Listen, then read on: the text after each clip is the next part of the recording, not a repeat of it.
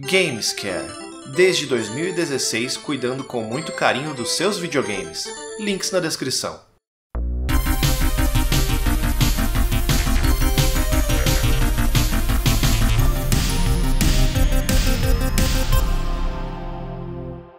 Saudações, senhoras e senhores! Sejam bem-vindos a mais um Sábado Retro aqui no Minicastle. Eu sou o Junião e hoje eu vou trazer um clássico do Atari 2600, um dos meus jogos favoritos da plataforma, que é o Mr. Postman. A gente sabe hoje que o nome do jogo é Mr. Postman, seria o Senhor Carteiro, mas naquela altura a gente chamava esse jogo do jogo do ursinho, porque esse carteiro, meus amigos, vamos combinar, ele parece mais um urso do que um carteiro, né? E aí vocês me falem, coloquem no, no campo dos comentários como é que vocês chamavam esse jogo. Porque eu tô ligado que muita gente que está assistindo esse vídeo jogou e jogou muito esse jogo. Esse jogo era muito popular aqui no Brasil. É um dos meus favoritos e vamos fazer uma palhinha agora, mostrar, tentar mostrar todas as três variações de tela que existem nesse jogo.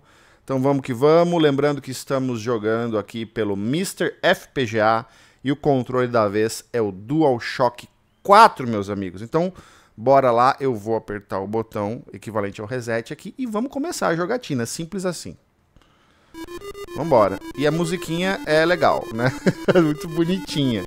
Então aqui nós temos um pássaro gigante que ele atira, tipo, dos dois lados, de cima para baixo e da esquerda para direita. Então você tem que, enquanto você tá trepando aqui no, no rolê, você tem que tomar cuidado para não ser atingido pelos tiros. Então são duas etapas aí que você tem que tomar cuidado para não ser atingido. E aí você pula e tenta primeiro alcançar o cipó, segundo alcançar o passarinhão ali. Não é tão fácil quanto parece, pessoal, mas enfim. A gente vai tentando aqui porque a gente é brasileiro, a gente não desiste, né? Mas vamos que vamos. E aí o esquema é você encostar no passarinho, só isso. Encostou no passarinho, você monta em cima dele, aí você vai para a segunda tela, que é uma variação que, sei lá, tem uma tempestade, tem um, um, umas águias ali, um falcão ou pássaro, não sei exatamente o que é, fica ali em cima, eu já matei ela. Na primeira tela aqui é uma só, e aí fica caindo uns raios do, do céu, umas chuvas, eu não sei exatamente o que é isso. Enfim, caem uns projéteis e você tem que destruir todos os projéteis e todos os os passarinhos que ficam ali em cima, ali roxinhos. Agora na segunda variação aqui nós temos dois. Então tem que destruir todos os pingos aí que vão caindo. A hora que acabou tudo, que parece ser o caso agora, a gente tem que ir lá destruir os, os passarinhões aqui. Uma hora vai.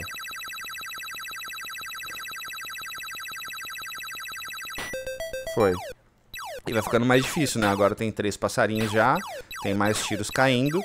Mas é, a quantidade ela não, não muda, tá? Você tem uma quantidade X, tem que destruir, a hora que destrói todos, não, não aparece mais, né? E você passa para a próxima tela. A próxima tela, que é uma outra variação, é finalmente onde você tem que chegar até o destino e entregar a carta, né? Você chegar na casa, vamos dizer assim, na casinha.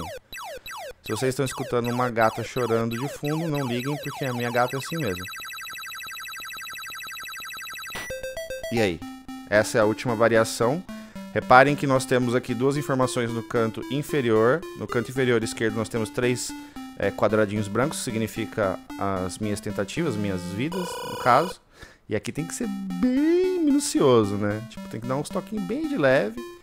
Eu tenho a impressão que no manche do Atari era mais fácil do que no, no digital aqui do, do Play, né? Enfim, vamos ver. bem devagarzinho. Uns toquinhos de nada. E até chegar a casa. Conseguimos. Aí volta o ciclo, né? Então esse sábado retrô já foi recompensador porque eu consegui mostrar todas as telas para vocês, né? Que é um jogo que eu tô muito assim, é... tô destreinado, né? Então eu não sabia se eu ia conseguir, mas consegui. E aí mudou a musiquinha. Porque é a segunda vez que a gente já tá fazendo o. O segundo ciclo, no caso, né?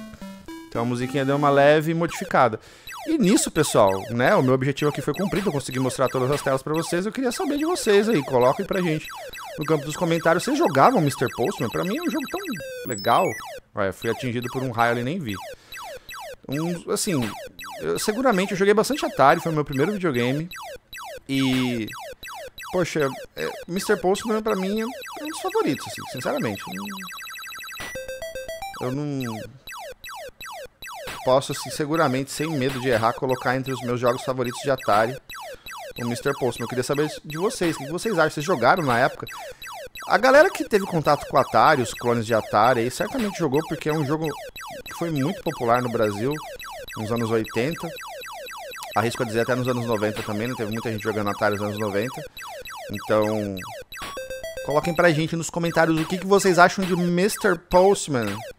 Vocês curtem assim que nem eu? Vocês acham que é um jogo meia boca? Coloca pra gente aí, eu quero saber a opinião de vocês, pessoal. Certo? Então vamos ver se a gente consegue aqui chegar mais uma tela. Tenho mais uma vida só. E tem que, tem que destruir as chuvinhas que estão caindo. E ao mesmo tempo desviar desses raios maledetos aqui, ó. Boa! Hum, agora... Ah, eu não falei da outra... Da outra informação aqui. No canto inferior direito, você tem um contador. Que é basicamente o tempo que você tem aí pra completar o objetivo. Nossa, tem que ser bem... Um pouquinho bem de leve mesmo. Pra não... Encostou na parede, é morte. Conseguimos mais um ciclo, né? Eu achei que eu não ia conseguir nenhum, mas tá bom demais aí, ó. Então, o vídeo já vai render aí pra... Né? Pelo menos mostrar todas as telas possíveis. E acabou, acabou as vidas, game over. Né? Fica uma pontuação ali na tela, que é o score final, certo?